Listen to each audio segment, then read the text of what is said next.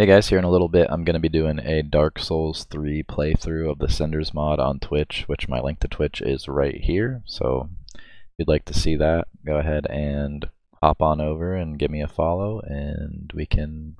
chat together and have a good time.